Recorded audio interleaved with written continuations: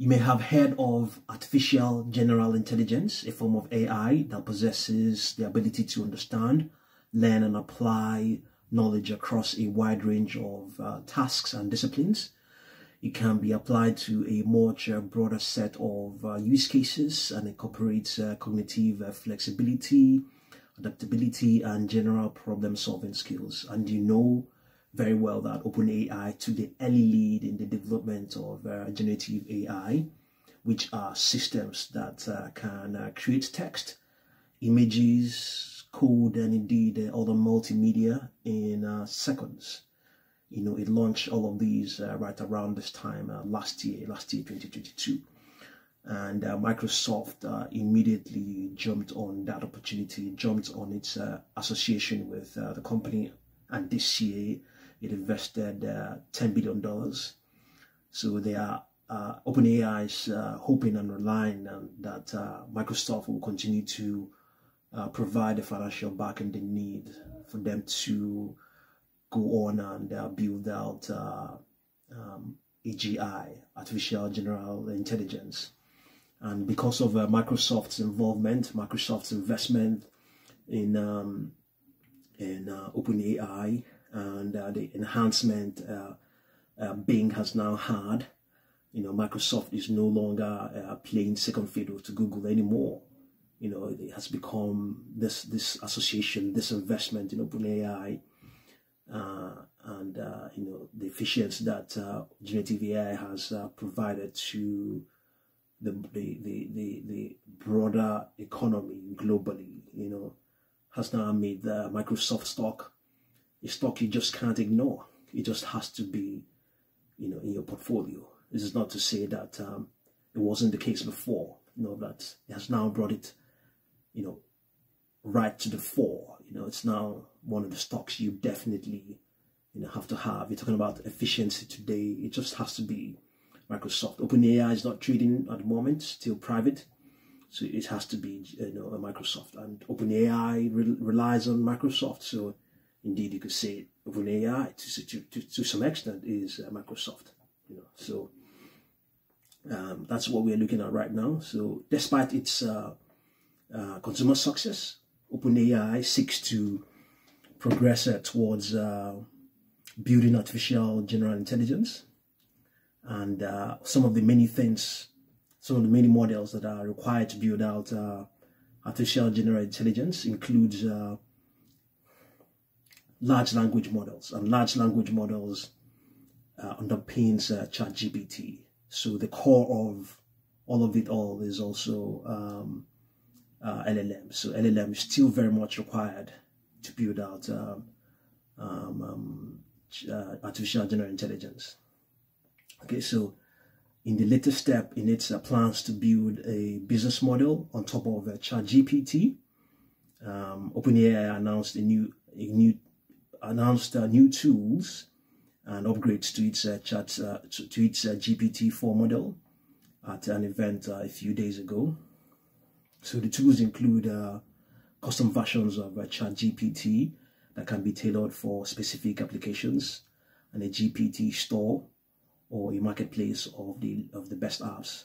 So the aim will be to split revenues uh, with uh, the most popular GPT creators in a business model that is uh, similar to um, App Store. Okay, so um, the biggest missing piece in the race for them to develop a open, um, so the, the, the biggest uh, missing piece in their drive to uh, develop to develop um, AGI, artificial general intelligence, is uh, what is required uh, for the system to make uh, fundamental leaps in understanding. Okay, so so it will require, um, or rather, the the company is um, uh, pointing to the launch of uh, GPTs, um, according to Sam Altman. OpenAI was uh, is working to build more autonomous agents that can perform tasks such as executing code, making payments, and sending emails. So according to him, they will make uh, these agents uh, more and more powerful, you know, and uh, the actions will get more and more complex.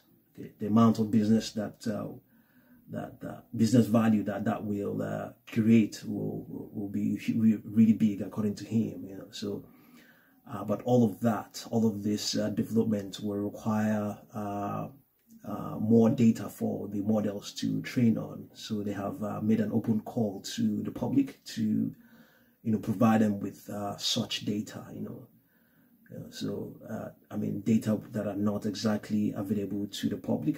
You know, so that's what they are. They have done of late. You know, but let's see how that one goes. You know, so to train the models that um, they are talking about now. We're talking about the GPT-5 as well. They are also working on that. And, and indeed, uh, these are the ones they are talking about uh, the, uh, uh what is it called? The, the, the, the agents, the, what they call, what do they call them? Autonomous agents. You know, they will definitely um, uh, uh, rely on yet more chips, the likes of um, NVIDIA's um, H100, you know, which um, became uh, Silicon Valley's uh, hottest uh, commodity over the past year as uh, rivals uh, raced to uh, secure the semiconductors needed to build AI systems. You know, so supply shortages, supply shortages of H100, which cost around forty thousand dollars a piece, had created a brutal crunch all, all, all, all, all along all along this year, 2023 so OpenAI had uh, received uh, um, several of them, you know, and I uh, was expecting more soon as well. So Sam Altman is uh, saying that um, next year, 2024, looks promising. But at the same time as well, Google, Microsoft, AMD, and Intel are also uh, racing ahead to develop their own AI chips. So the reliance of and on the, the, the reliance on uh, NVIDIA um, is not likely to continuous uh, things stand right now. You know, so um, OpenAI driving to uh, develop um, open so to develop um, AGI, artificial general intelligence. They are hoping that they're going to receive more funding from Microsoft.